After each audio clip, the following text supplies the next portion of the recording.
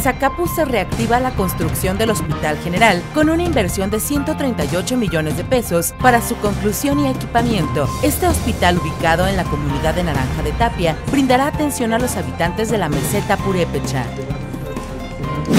Asimismo, se entregaron recursos por más de 200 mil pesos a 19 instancias municipales de la mujer del programa de fortalecimiento para la transversalidad de perspectiva de género, a fin de que amplíen la atención al sector femenil en la región.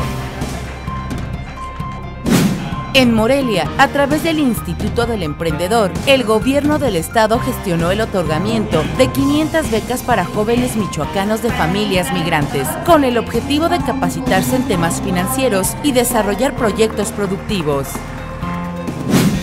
para impulsar el desarrollo económico y social de la región Bajío y en un trabajo conjunto entre los gobiernos de Guanajuato y Michoacán, se construyó el puente Ingeniero Rogelio García Castillo en el tramo La Piedad-Pénjamo.